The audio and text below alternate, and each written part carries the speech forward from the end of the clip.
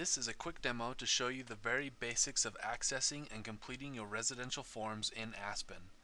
This video will not cover Aspen's more advanced features like mapping and filtering, but instead will simply focus on how to complete a residential work order and submit it to quality control. When you first launch Aspen, you will be brought to the login screen. Use the username and password that was provided for you in an email.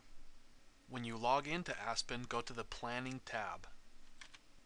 Find the work order that you would like to access. A great way to do this is with the search filter.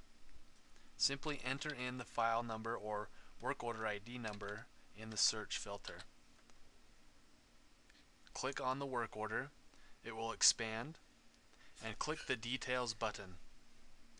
Clicking the Details button will launch the work order window. It is distinguished by these four tabs and this green header. This first tab, the Details tab, provides all of the order info you need. The Status tab is another place where you can add progress reports. The Documents tab is where you access the forms that will need to be filled out and submitted to quality control.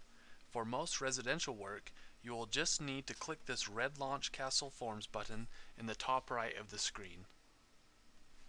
After you click the button, Castle's Core or Survey Center system will be launched in a separate browser. You will complete the work order as usual, with one exception. Rapid Sketch will now launch from the Photos and Sketch tab rather than from Inspection Station itself. After you've completed the report, click on the Rules Check tab, run through the spell check, and submit the report to Quality Control. Submitting the report to Quality Control will close the browser. Aspen has a pop-up explaining what to do next.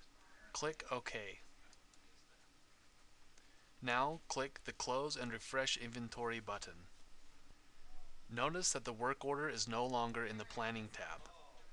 The work order has now moved to the In Review tab and is awaiting quality control to review it.